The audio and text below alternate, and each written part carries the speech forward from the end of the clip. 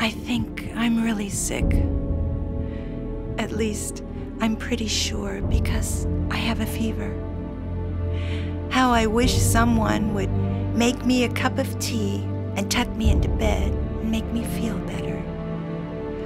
I don't know what's going on. My oceans are flooding my coasts.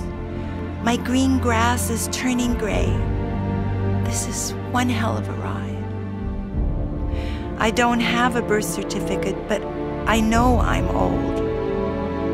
I thought I could survive anything.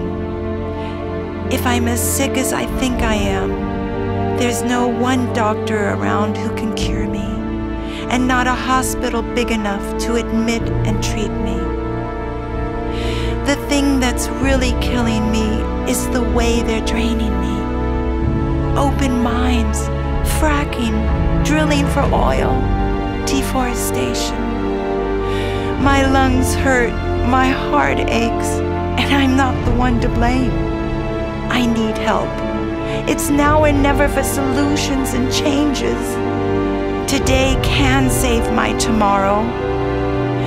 I believe in new sunrises and the sweetness of pure air and visions of majestic glaciers and vast coral reefs coming back to life. I believe that madness can be stopped, that there's a silver lining on the horizon. Most of all, I believe in life and in hope and in 2084.